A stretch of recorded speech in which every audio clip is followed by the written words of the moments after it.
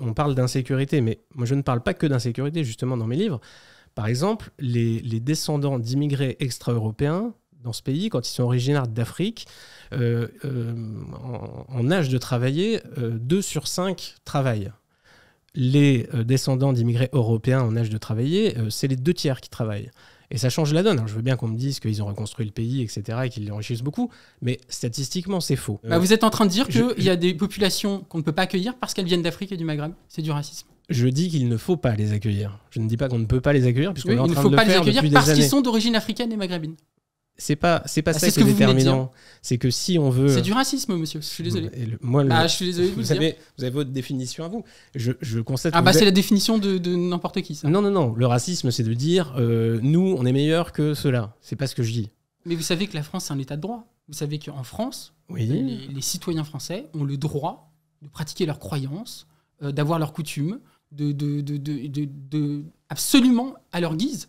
Donc vous êtes prêt à couler à la barre du navire du Ah, moment qu'il reste républicain moi je pense bout. que je pense qu'on est en train de couler. qu'il faut le mouvement. Moi, je pense qu'on est en train de couler aujourd'hui à cause de, de propos comme le vôtre et de manière générale par le déclin absolu de l'état de droit ça, c'est un petit peu et des principes démocratiques.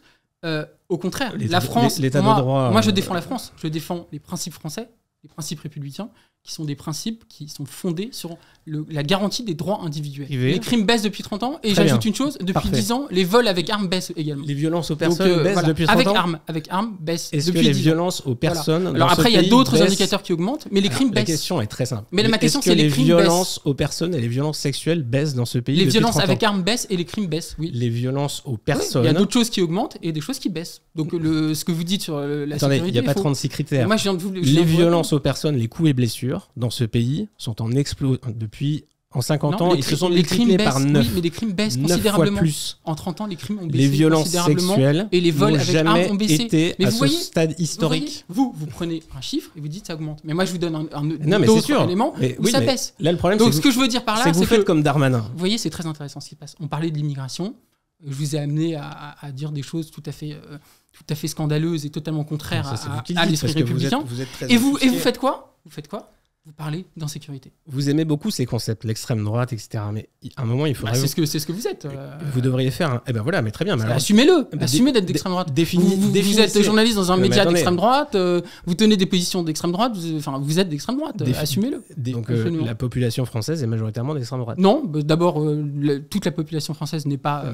D'accord, mais pour des Ils remettent en cause l'immigration. Et si, ah, En revanche, En revanche, oui, là où je suis, là où je suis très inquiet, c'est que les discours d'extrême droite sont en train de gagner beaucoup de terrain euh, dans la population. Quand je vois que le Rassemblement national a euh, 90 députés euh, à l'Assemblée, Parce que je pense euh, que. à, euh, 40% des Français ont voté Marine Le Pen au deuxième tour, oui, je m'en inquiète. Moi, je pense qu'on peut être euh, contre l'immigration de quantité et pour une application ferme de la loi sans forcément être, euh, être euh, l'héritier de, de- d'Hitler. J'ai pas de problème à dire qu'une grande partie, ou en tout cas une partie des électeurs du Rassemblement national, ont, ce ont, ont- ont un, côté raciste, et c'est ça moi qui m'inquiète, parce que le racisme est en train de gagner du terrain dans le pays. Oui. Vous êtes pour l'immigration zéro, ou au contraire juste... euh, Allez, même, même un peu négative pour commencer.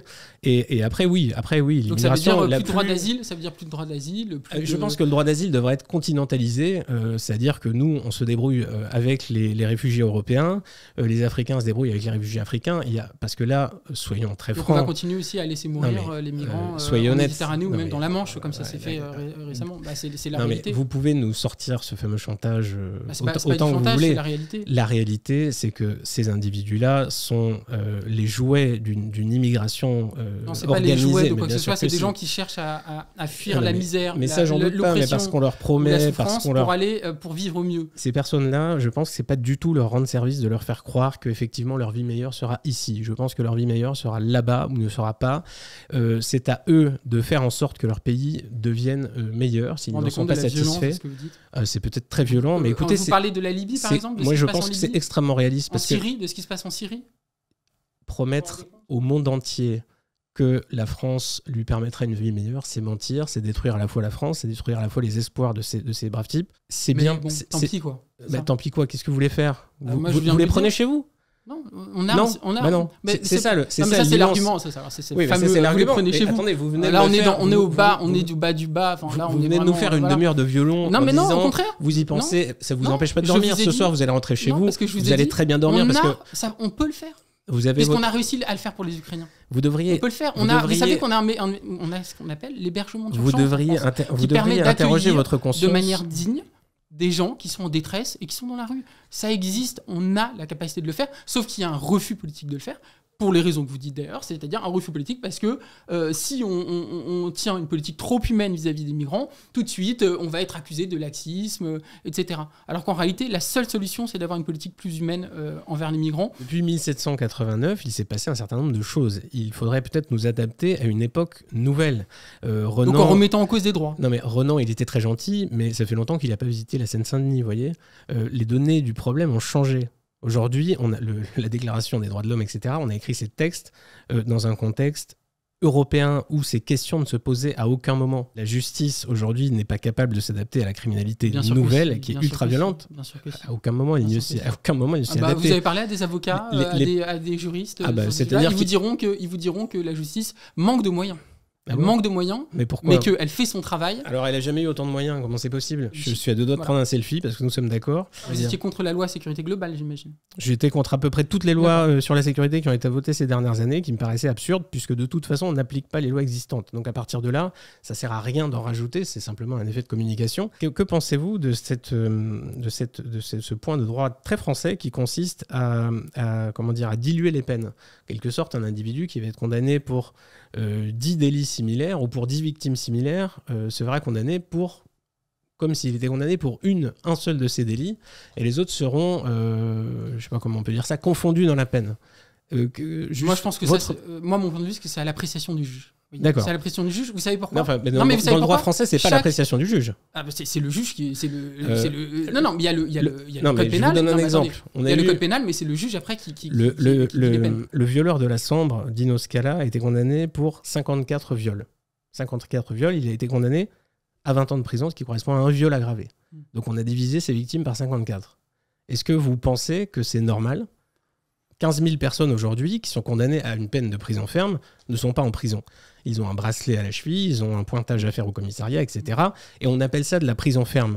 Et ça, c'est aussi par rapport aux victimes un énorme manque de respect, enfin, d'humanité, de tout ce qu'on veut, de dire votre agresseur va aller en prison et en réalité on ne l'y envoie pas. Vous ne voulez pas condamner les coupables à de la prison, à des peines dures, etc. J'ai bien compris. ce que dit, Mais vous condamnez des innocents à Mais un tomber, violeur, à tomber un violeur sur ou un criminel doit être en prison, c'est évident. Ah, je- Voilà. je suis- mais par je exemple, suis ravi de l'entendre. un jeune, un jeune par exemple, qui vole parce que par, par, par- Parce qu'il par- a par raison parce qu'il est- économique, parce qu'il est pour raison économique, Oui. oui, en effet, là je considère que la justice, Alors, la vous, justice doit être clémente. je vais vous rassurer, les Ou, vols euh, pour raison économique des jeunes sont extrêmement peu, Ah oui, donc ça n'existe peu pas. nombreux. Ça, Vous êtes Euh, anti-immigration, euh, ultra-sécuritaire. euh, Non, non, non, non. an- Attendez, euh, là vous avez presque bon. Antisocial, euh, c'est Antisocial, je perds mon sang-froid. euh, Alors, antisocial, oui. Anti-immigration, oui. Sécuritaire, non. Et si vous pensez réellement que Darmanin et ses fameux discours ont quelque chose à voir avec la réalité, vous vous trompez. Macron, c'est la même chose.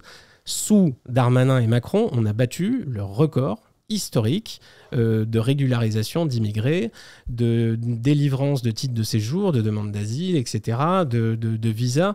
Ces records historiques ont été battus. non, non, non, Idem non, pour la sécurité. Il y a absolument... Vous la- avez une répression sans précédent. Ah bah on a vu ça avec et Viking, c'était très Des spectaculaire. migrants à Calais. Ah oui. À Calais. Ce qui se passe à Calais. Ah mais Ça n'a alors, jamais été aussi grave que ces dernières années. Calais, c'est très Euh, spécial. donc, euh, non, non, non. euh, c'est le, contraire de, de ce que vous dites, ce qui se passe. Il faudrait leur rendre la vie possible ailleurs. Ce qu'on appelle les migrants, moi je, je préfère le terme d'exilés, mais passons. Exilés, réfugiés, itinérants. Moi, je les appelle ils ont itinérants. des- Ils ont, des, ils ont des droits, ces gens-là. Mhm. Ils ont des droits parce que c'est des êtres humains. Oui, Et en France, oui, oui. les êtres humains, quelle que soit leur nationalité, ont des droits. Sauf que ça vous est, plaise ou non. sauf que, Voilà, c'est comme ça. sauf qu'on est allé les chercher à quelques kilomètres des côtes libyennes. On les a sauvés. On les a sauvés. on les a sauvés. les a sauvés, oui, absolument. Et c'était l'honneur de la France de le faire. On a, on- on- on a eu la seule euh, décision humaine qui pouvait être prise, c'est-à-dire sauver des vies. Qu'est-ce qu'il y a de plus important que sauver des êtres humains?